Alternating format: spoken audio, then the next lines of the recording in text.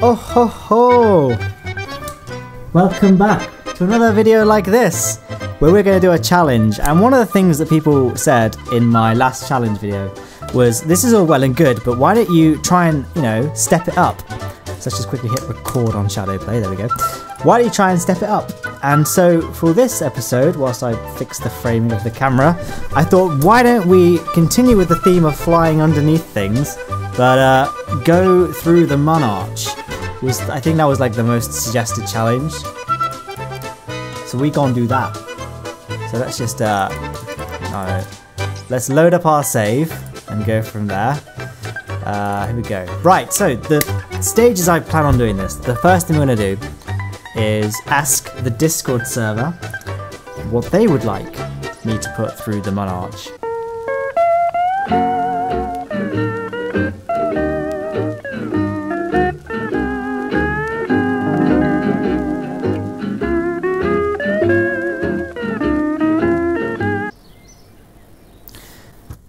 So now we've done that, we'll make a quick space station. It doesn't need to be anything fancy. A, because I don't want this video, the focus of this video is not the space station's construction, right? So I think just like uh, the science module would be the, the science lab will be the key thing to have. Everyone has to have a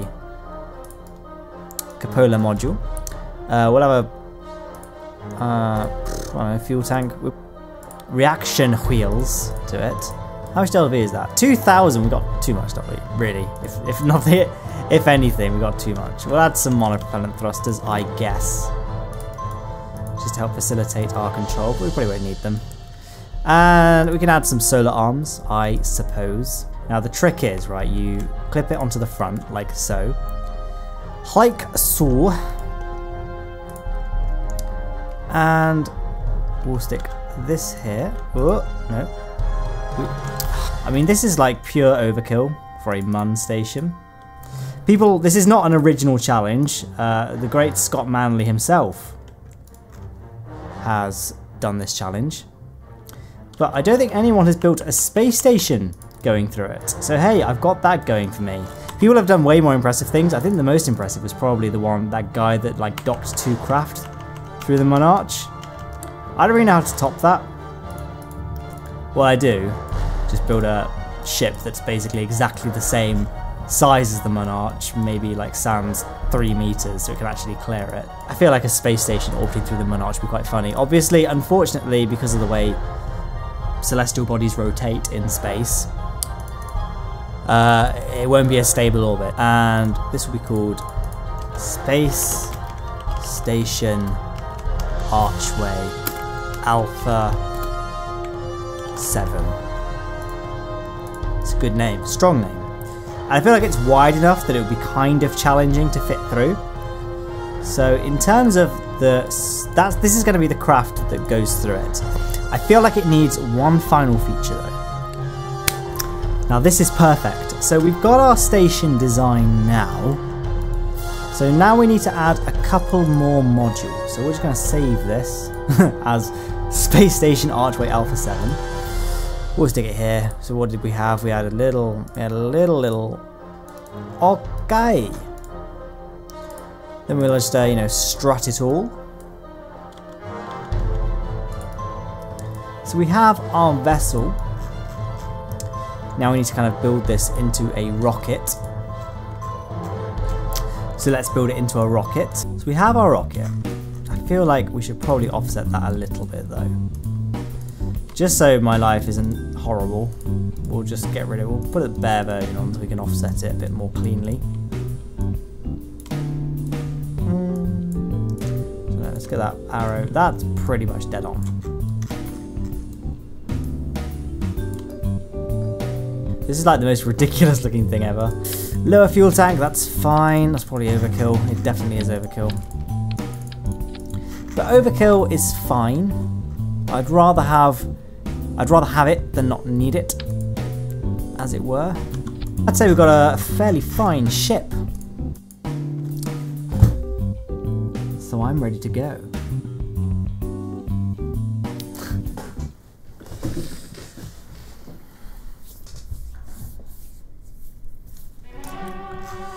Right, so let's get our space program looked up.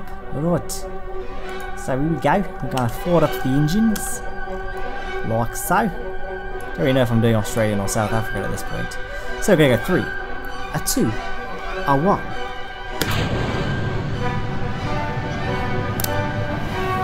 We have liftoff!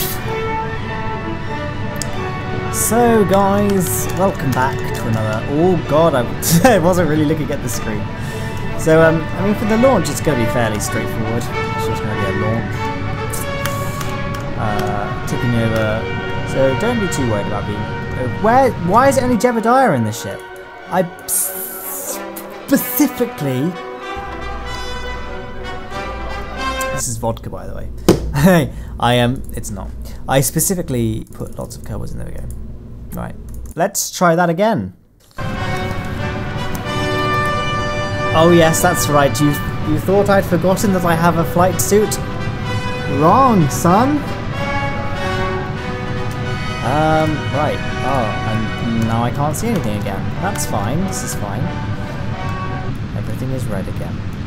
So I can't really see my surface speed, it's kind of filtered out by these goggles, but I'm going to just guess that we're doing fine enough velocity. It feels like we're going fast actually. Oh well.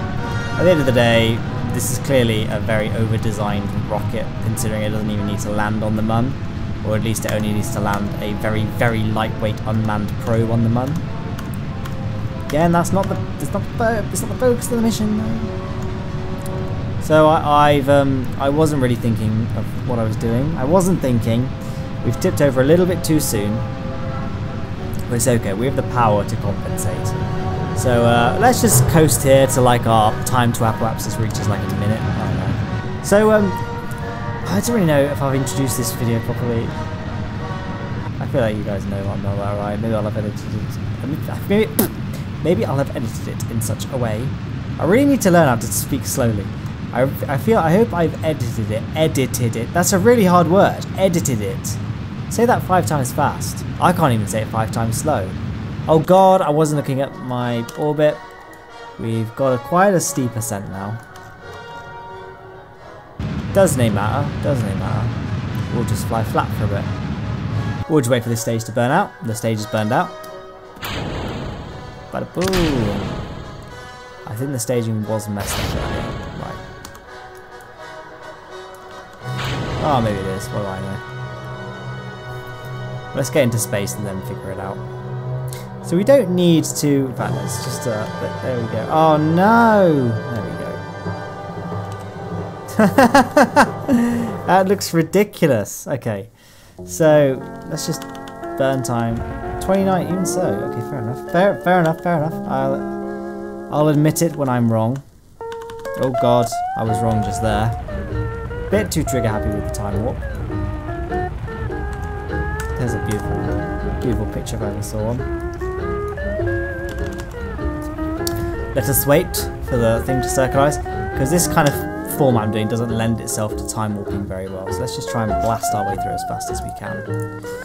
So we're going to set a target as the Mun, drag that out, bada boom. Right, and then we just spin it now we want to be aiming for an equatorial orbit because the that's how we're gonna that's how we would orbit through the Mun arch based on its orientation. I know there's more than one arch, but I only know the location of one of them.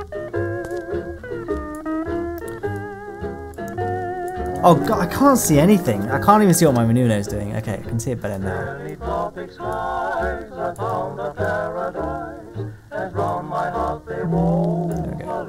Mm, I was dragging the wrong node.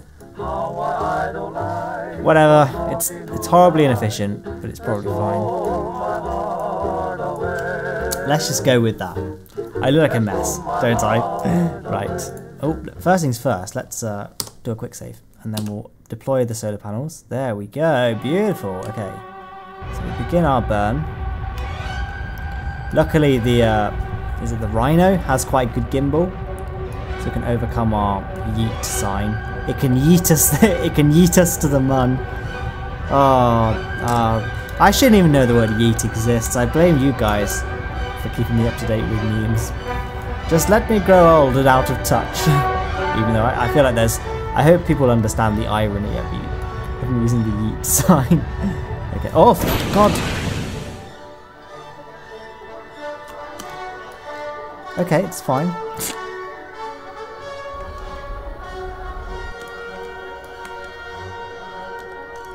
So I'm going for a rough equatorial orbit and we'll finish it off kind of properly once we're there. Again, it's, it's going to be hard knowing exactly how to plan my maneuver accurately until we're there. I only roughly know where the arch even is. Like, I know kind of where it is.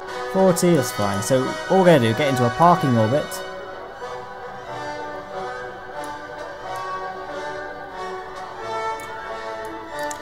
and then we'll send down the scout. Because honestly, it's so hard. Because A, because of the draw distance of this game, it's very, very hard to get a mun arching. Oh! God's sake.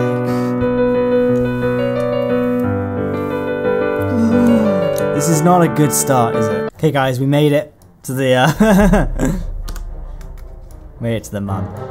So we'll detach the lander. Oh my goodness golly, golly gosh. If memory serves me correctly, the Mun arch is... Uh,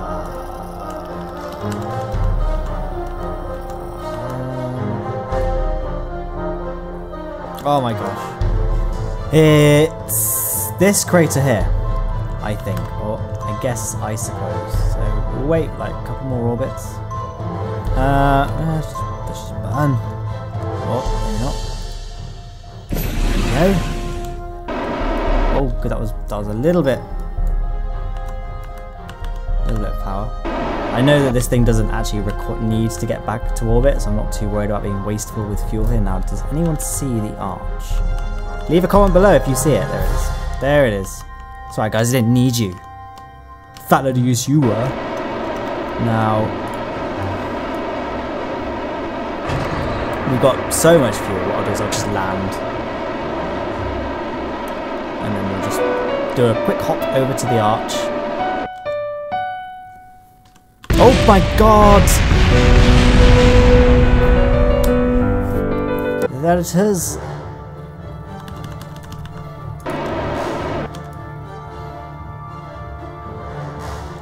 So there, there you are, for those that have never seen a Mun arch before. Now you know what it looks like. Oh my god! Bloody hell. Time warp is just ridiculous, isn't it? okay, now we're going to do some gentle, gentle move. This is what I suck at in KSP, among other things, right? But it's like flying, like aiming for a specific target. I love how I say that, I, even though I have a series in which I rescue Kerbals, which revolves around having to land at specific targets, but I hope you get the, the gist of it right. Oh. No.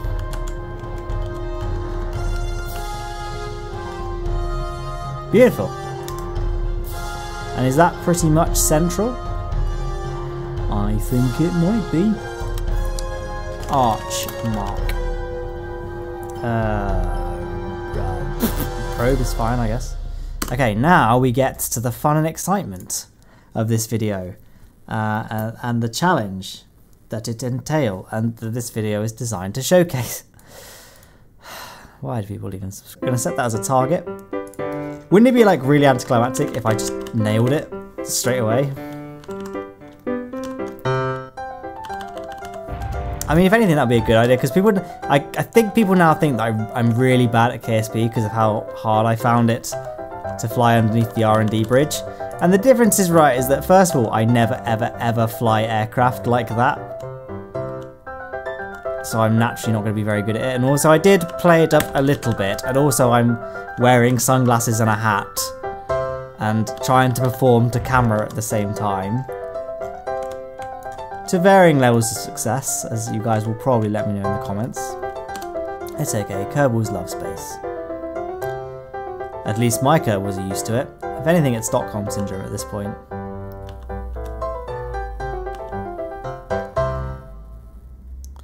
That's fine, maybe. We're going to make a quick save here and see if we can get away with one more orbit.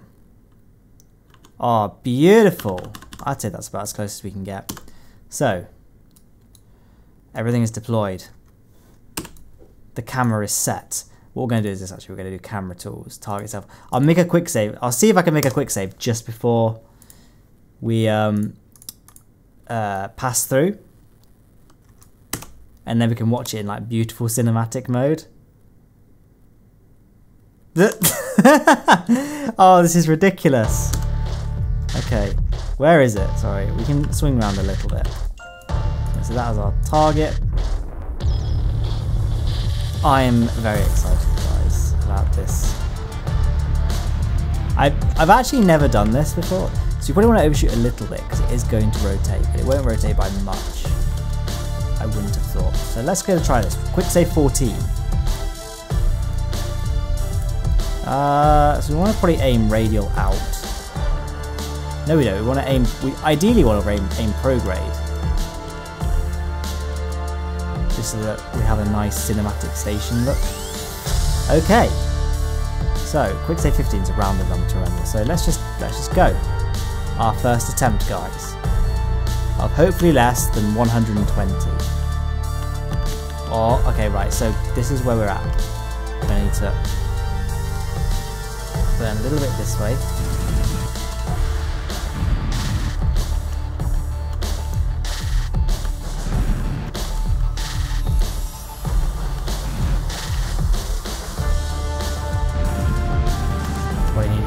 Bit more.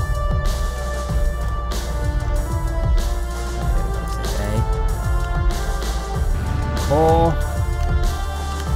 Oh. Oh no. Hey, come on though, it's a first attempt.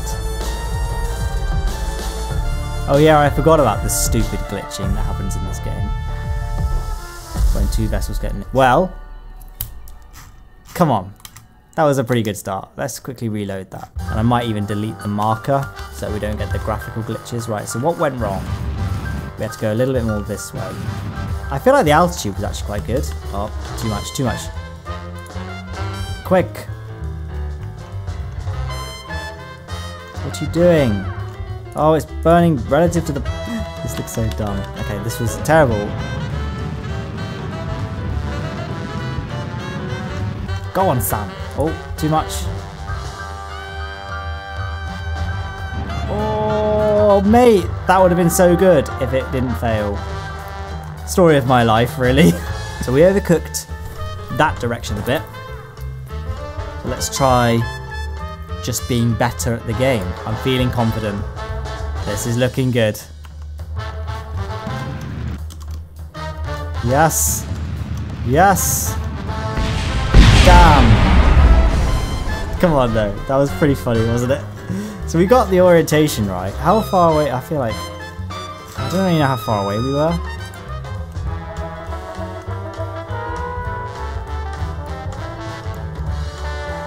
Just. what happens if we just left it untouched?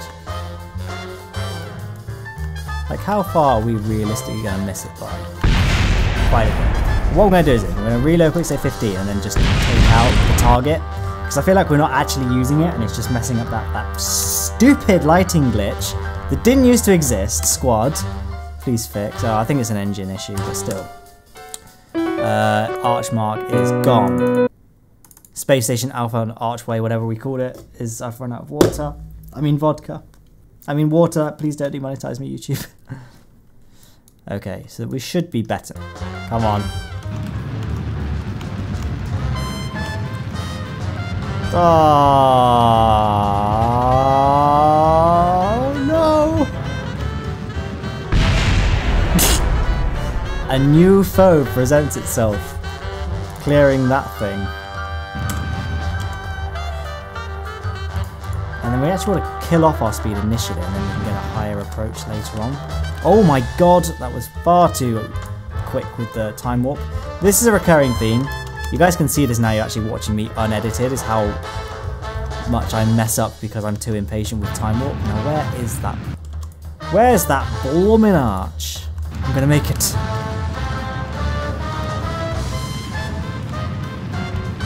Oh my god.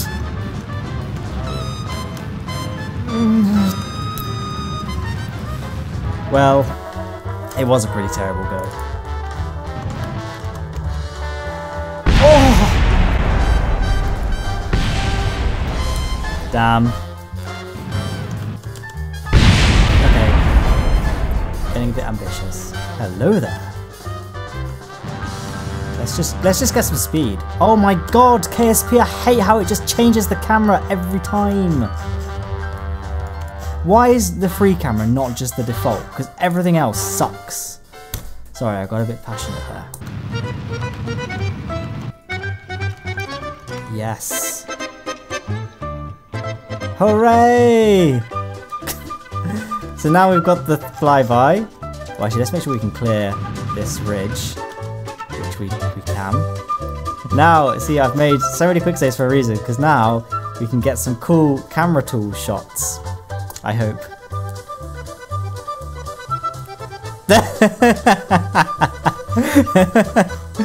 oh, come on, that's pretty funny.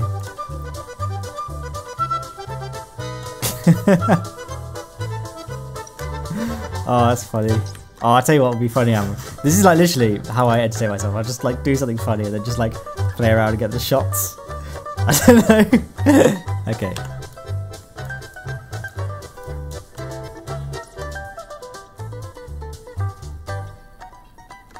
I didn't really have a plan for what to do in this video other than just pass through the Mun arch.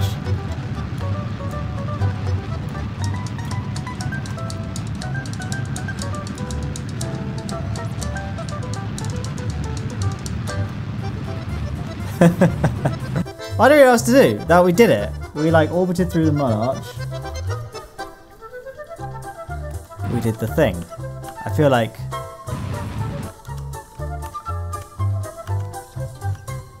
thought this would take longer. I thought this would be harder than it was, but I literally took me way longer to fly underneath the R&D bridge. Admittedly, I feel like that challenge is harder than this.